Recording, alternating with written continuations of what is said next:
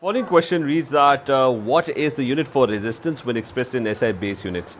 So resistance expressed as SI base units.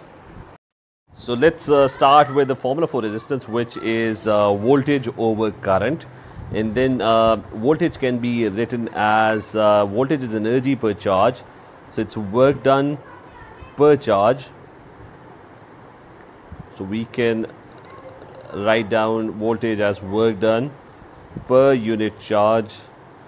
And we are dividing it by current as well so we keep the I over there. Now work done is uh, we can further derive uh, work done. Work done is force into distance.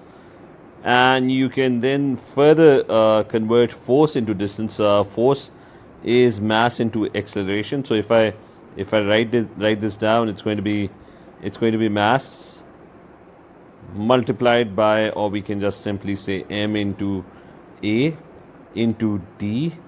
Uh, the unit for mass is uh, let's derive the unit for mass. It's going to be kg. Acceleration is meters per second square or it's uh, change in velocity over time. So meters per second divided by time which is second.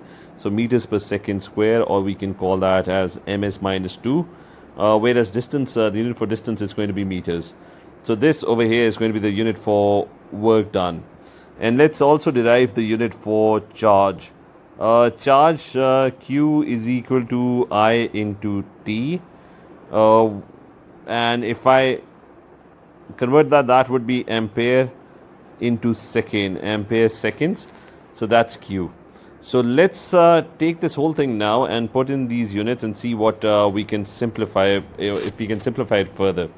So my uh, resistance unit, uh, if I derive it in base units, it's going to be work done, which is uh, which we did derive as kg ms minus 2 into m, or we can call that as kg m squared s minus 2 uh, because there are two m's in the expression, so that's m squared.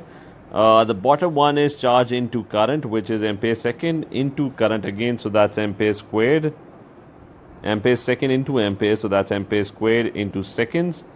Uh, further simplifying this uh, it is going to give me it's going to give me kg meter square. Uh, this s minus 2 would become s minus 3 because there's uh, if I bring this s on top it's going to become uh, s minus 1 so that would be s minus 3 so it's going to be s minus 3 and then ampere would be minus 2 so this over here would be my final unit for uh, uh, or my final derived base unit for resistance. So if I look for this expression, the correct expression is given in option B over here. If you look at option B, the correct expression is given. So B would be my answer for this question.